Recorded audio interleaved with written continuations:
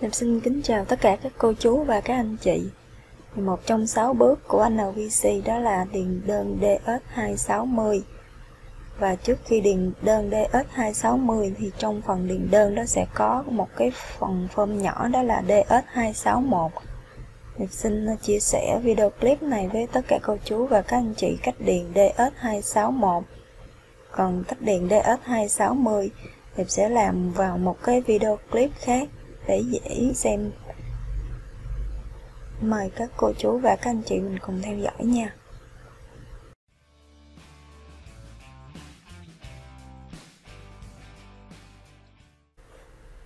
Thì khi hồ sơ của mình được mở là khoảng 6 tháng trước khi USCIS là Sở Di trú và Nhập tịch Hoa Kỳ, họ đăng cái lịch đáo hạn của ngày ưu tiên và các hồ sơ đến lượt thì sẽ được NLVC bắt đầu tiến trình xử lý cấp cái visa định cư. Thì khi đó thì NVC họ sẽ gửi cho chúng ta cái mã của cái invoice ID number là cái số để mà mình bắt đầu để đóng tiền. Thì mình sẽ dùng cái mã case number là cái mã hồ sơ kết hợp với cái số invoice ID number. Này mình vô cái địa chỉ website này là của CEAC thì mình sẽ theo cái đường link địa chỉ này mình để vào đó kiểm tra. Thì khi nào mà anh nào VC họ cho điền form DS261 hoặc là đóng phí 120 đô thì cái hồ sơ của mình đã được mở. Thì lúc đó thì mình bắt đầu mình tiến hành, mình điền form DS261 và mình đóng tiền để bắt đầu trước khi mà vào điền form DS260 và có một cái điều chú ý đó là không có cái thời gian nhất định khi mà anh NVC cho phép điền cái form DS261 với cái form DS260 hay là đóng cái phí. Thường thì khoảng 2 tuần cho đến 2 tháng. Có cái trường hợp là đóng phí rồi mà không có điền form DS261 và có khi thì đóng cả hai loại phí cùng một lúc luôn thì cái này thì do là cách làm việc của nhân viên của NVC thì tùy theo từng trường hợp của mình mà mình vào cái diện hồ sơ thì mình điền cái form theo yêu cầu. Và có thêm một số cái thông tin về cái đơn DS261 này. Thì à, điền cái mẫu form DS261 thì mình sẽ nhớ ghi cái địa chỉ của người bảo lãnh hoặc là người được bảo lãnh vào để NVC họ tiện liên lạc thì sau khi mà mình điền form DS261 này xong thì NVC họ sẽ cho đóng cái phí xem xét đơn bảo trợ tài chính là cái phí AOS và cái phí visa là cái chữ số 4 chữ thập. Và đóng cái phí AOS này là 120 đô. Còn cái phí uh, số 4 là mã mình thấy ở trên form á là cái phí này là phí visa 325 đô. Cái phí 120 đô là để xem xét bảo trợ tài chính cái form I864 sau khi mà hiện cái chữ paid là cái chữ mà đã trả, thì mình sẽ in cái tờ đó ra là document cover sheet 120 đô. Thì mình sẽ để lên trên cái bộ đơn form I864 là để chứng minh là mình đã có thanh toán tiền rồi. Và cái phần mà 325 đô á, mình sẽ in cái document cover sheet 325 mình kẹp lên trên cái giấy tờ dân sự. Và mình phải thường xuyên đăng nhập vào cái trang đóng tiền của CEAC e như ở đây để mình xem là mình có được đóng phí visa và điền form DS260 nếu như mà mình có thể điền được thì mình sẽ vào mình điền. Thì thông thường á, thì mình sau khi làm cái form DS261 xong thì mình sẽ chờ khoảng vài ngày để cho phía NVC họ cập nhật. Sau khi họ kiểm tra là mình đã đóng tiền xong thì họ sẽ mở cái hồ sơ và tiếp tục là mình sẽ được điền cái DS260 và nộp các giấy tờ liên quan. Bắt đầu điền form. DS261 thì chúng ta sẽ vào cái địa chỉ của cái trang web của EAC ở đây. Mình sẽ điền vào. Ngay chỗ cái phần sign in đăng nhập thì nó sẽ có cái khung là case number thì mình sẽ nhập cái case number của mình vào và sau đó bấm continue. Sau khi bấm continue á, thì ở đây thì mình sẽ thấy ra là nó tiếp tục ra một cái trang sign in ở đây là nó sẽ có những cái ô. Thứ nhất là ô đầu tiên là case number. Mình sẽ nhập cái số hồ sơ HCM và một dãy số. Ở phía dưới này là cái số invoice ID number. Tiếp theo ở cái ô thứ ba là IM rồi bấm vô ngay chỗ cái dấu mũi tên ở đây. Mình bấm vào thì nó sẽ hiện ra là cho mình lựa chọn thì nếu như mà mình tự mình làm á thì mình sẽ được mình sẽ chọn là petitioner ở đây là người bảo lãnh hoặc là đương đơn chính là principal applicant. Còn thông thường nếu như mà luật sư hoặc là mấy cái trung tâm dịch vụ á, thì họ sẽ chọn cái khác. Và ở phần phía dưới này thì có cái mã thì mình sẽ nhập cái mã ở phía trên vào trong cái ô. Sau đó thì mình sẽ bấm continue khi bấm continue thì mình sẽ vào cái trang của mình. Ở đây mình sẽ thấy cái tên và cái tên của đường đơn chính. Và ở dưới nếu như mà có những người đi theo ăn theo á, thì sẽ có liệt kê ở phía dưới này. Thì chúng ta sẽ xem cái phần ở phía trên ngay chỗ ở trên này cái phần summary information. Thì ở phía cái hàng đầu tiên luôn nó có để cái chữ là DS261 á thì nó sẽ có một cái ô là North Star. Thì mình sẽ bấm vào trong đó để mình bắt đầu mình điền một số cái thông tin theo yêu cầu. Mình sẽ bấm vào cái North Star đó. Mình bấm vào thì sau đó là, là cái trang mà Get Star này nó hiện ra. Thì cái những cái này là cái thông tin ở trong đây là để bên NVC họ chỉ là liệt kê họ hướng dẫn một số cái vấn đề thôi. Và nếu như mà mình đồng ý thì mình click vào cái ô ở chỗ này. Cái ô vuông có nghĩa là mình đồng ý mình đã đọc rõ ở phía trên. Rồi sau đó tiếp tục mình sẽ bấm continue ở đây. Sau khi bấm continue á, thì nó sẽ ra một cái bảng tiếp. Đó là cái bảng trang khai thông tin cá nhân của cái đương đơn chính. Thì ở đây là có cái phần surname này là mình sẽ điền cái họ. Ở đây ở phía dưới ngay cái mẫu, cái chữ nhỏ nhỏ dưới này là cái ví dụ. Ở dưới này là mình sẽ điền tên.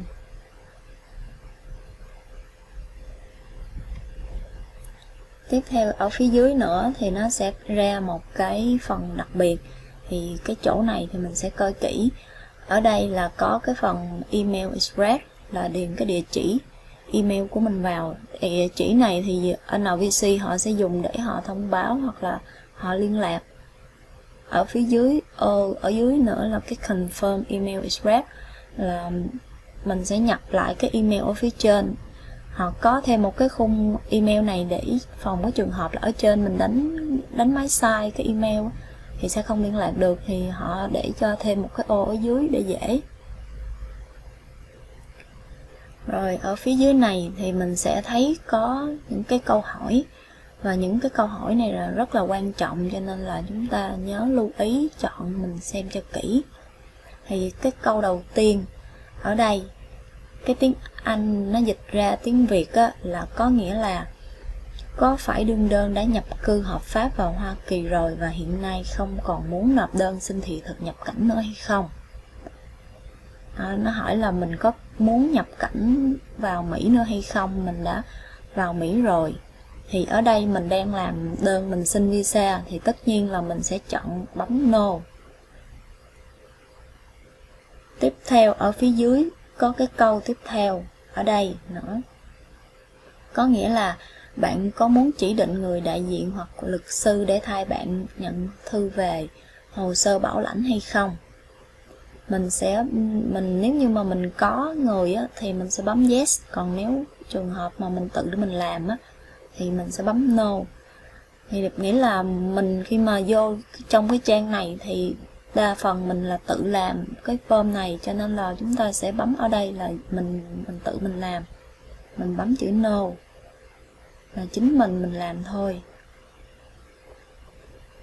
Ở phía dưới này, tiếp theo cái hai cái dòng ở dưới, đó là địa chỉ của người bảo lãnh. Thì mình sẽ điền cái địa chỉ của mình vào cái ô, cái line 1 ở chỗ này.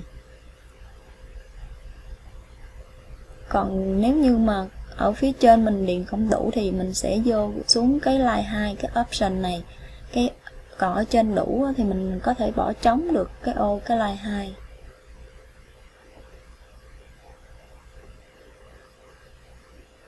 ở chỗ này thì mình lưu ý, nhớ lưu ý là hai cái câu hỏi mình phải chọn cho kỹ. Nếu lỡ như bấm yes là cái hồ sơ của mình sẽ bị hủy, họ sẽ đóng lại. Đây, mình sẽ xem rất là kỹ hai cái này. Ở đây, cái câu này muốn có người đại diện hoặc là có luật sư để thay mình nhận hồ sơ bảo lãnh hay không. Nhớ là bấm no. Tiếp theo ở phía dưới nữa là mình cái chỗ thành phố tiểu bang này thì mình tiếp tục mình điền cái thông tin của cái người bảo lãnh cái người mà ở bên Mỹ á thì mình sẽ điền vào. Cái ô ngay chỗ do not apply này nếu như mà không có thông tin á, thì mình sẽ bấm mình click vào cái ô vuông ở đây thì mình sẽ không cần phải điền. Ở đây cũng vậy. Cái quốc gia thì mình sẽ bấm vào cái dấu mũi tên ở đây. Mình bấm vào thì nó sẽ hiện ra mà mình chọn. Ở đây số điện thoại nhà, số điện thoại nơi làm việc. Nếu như không có thì mình bấm vào cái ô vuông ở đây cho not apply. Và số điện thoại di động. Sau khi mình xem lại dò lại những cái thông tin mình đã điền thì mình sẽ bấm next là tiếp tục bấm next ở đây để qua cái trang tiếp theo. Sau khi mình bấm next á, thì nó sẽ hiện ra một cái ờ, phần này để mình sẽ dò lại những cái thông tin mà mình đã điền. Họ sẽ cho xem lại qua một lần. Nếu như mà những cái nào mà mình bị sai á, thì mình sẽ bấm back trở về để mình coi mình sửa lại ngay. Còn nếu như mà mọi thứ đã đúng á, mình tiếp tục mình bấm next ở đây. Sau khi mình bấm next á, thì nó sẽ hiện ra tiếp tục là cái trang size and submit ở đây ở trên. Thì nó sẽ có những cái phần thông tin ở đây tiếp tục. Thì mình sẽ điền ở đây nó có cái câu hỏi là có ai giúp bạn điền đơn này không? Thì nếu như mà chính mình mình điền á, thì mình sẽ bấm no. Và ở dưới này thì mình sẽ nhập cái mã cái số này vô cái số này vô cái ô đây tùy theo. Cái nó hiện lên cái chữ hoặc là cái số nào thì mình nhập vào cái đó. Khi mà xong á, thì mình sẽ bấm vào cái chỗ cái chữ Sign and Submit Form. Trước khi bấm cái này thì mình cũng nên xem lại xem mình có chọn mình có nhập ừ, mấy cái thông tin đúng hay chưa. Và sau đó thì nó sẽ có một cái này mình nó sẽ ra.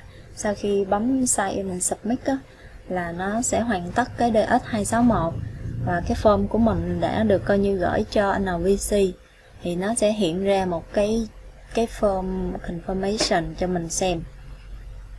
Thì sau xong hết tất cả thì mình sẽ bấm vào chữ next information ở đây.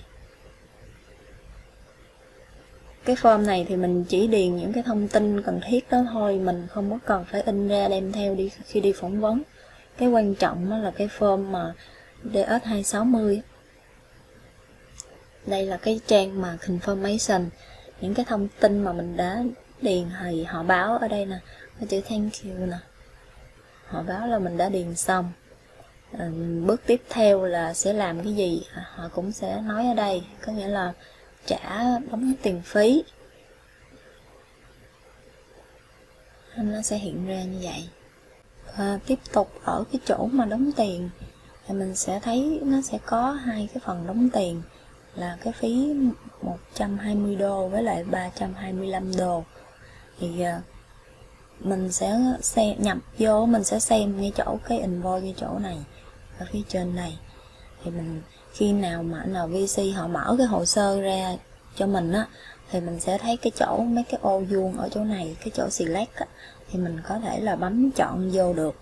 Còn nếu như mà cái hồ sơ của mình chưa có được mở thì mình sẽ cái chỗ mấy cái chỗ select này là nó sẽ không có hiện ra nó sẽ bị ẩn. Thì cho nên là mình khi có cái mã invoice ID number thì mình sẽ canh khi nào mà có cái được mở thì mình sẽ thấy ngay chỗ select này nó hiện lên. Thì mình bấm cái chỗ mình thanh toán cái phần nào á, mình trả cái nào thì mình bấm vô cái select cái phần đó, mình bấm vào để mình làm cái thanh toán. Ở đây mình thấy cái này mà chưa có trả nè, ở ở chỗ payment status này, cái tình trạng ờ, của cái phần thanh toán này, nó là not paid nè, chưa có được trả ở phía trên này là phí bảo trợ tài chính AOS là 120 đô. Còn ở phía dưới này là những cái người là cái phí đăng ký đơn xin visa. Là total select cũng là không đồng. Và khi mà mình thanh toán thì đây là một cái mẫu của một cái giao diện trong lúc mà mình vào để thanh toán ở phía trên này là thông tin thanh toán phí của cái hồ sơ, cái case HCM ở đây là cái số tiền mình thấy là đóng cho một cái AOS fee. Fee là cái phí mà đánh thanh toán cho một phần thì nó sẽ hiện ra chỉ có 120 đô đây. Ở phía dưới này thì mình sẽ gặp thường xuyên những cái từ thông dụng để điền cái form, hai cái form này như là cái first name hoặc là cái middle hoặc và cái last name họ tên địa chỉ email và nhập lại cái địa chỉ email. Ở chỗ này thì cái số routing của thẻ, cái số tài khoản, thì cái này thì mình sẽ sử dụng cái thẻ của nước ngoài ở bên Mỹ để mình thanh toán, mình trả cái phí. Thì mình làm cái này thì mình sẽ nhờ người bảo lãnh có cái phí, có cái thẻ ở phía bên Mỹ để họ làm họ làm cho mình. Nhập cái số tài khoản vào cái ô này sau đó là mình chọn cái loại chat thanh toán bằng cái chat chứ không có thanh toán bằng cái khác được. Ở phía trên là họ có hướng dẫn ngay chỗ cái mã số ở trên cái thẻ cái chat của mình nó sample ở đây nè. Mình sẽ xem. Và sau khi mình nhập các thông tin đó xong á, thì ở dưới chỗ này nó sẽ có cái ô vuông và I agree mình đồng ý những cái này ví dụ như đó để để họ xác định thêm một lần nữa là cho chắc chắn là mình đồng ý. Thì mình sẽ bấm vào cái ô vuông ở đây. Ở phía dưới này họ lại hiện ra cái phần tiền, số tiền để cho mình thấy thêm một lần nữa. Và nếu như mà các cái thông tin của mình đã đúng và mình đồng ý với cái phần thanh toán này thì mình bấm vào cái chỗ thanh toán, cái chỗ số tiền ở đây, make payment sau khi mình điền cái form DS261 và đóng cái phí 120 đô AOS thì mình cũng thường xuyên vào lại cái trang này để kiểm tra à, xem NVC họ có cho đóng cái phí visa hay chưa. Thì thông thường thì tầm khoảng vài ngày thì họ phải cập nhật là họ kiểm tra là có mình đóng đủ đàng hoàng những cái thông tin mình đóng có tiền họ nhận được hay chưa, xong rồi họ mới mở tiếp. Thì ờ, khi mà mình thấy họ có xác nhận là đã nhận được rồi á, họ tiếp tục họ cho mở làm cái bước tiếp theo á, thì mình sẽ tranh thủ mình làm đóng cái phí visa, sau đó điền cái form DS 260 và nộp mấy cái ờ, document, nộp những cái hồ sơ dân sự. Thì những cái bộ đó thì mình sẽ chuẩn bị sẵn trước hết.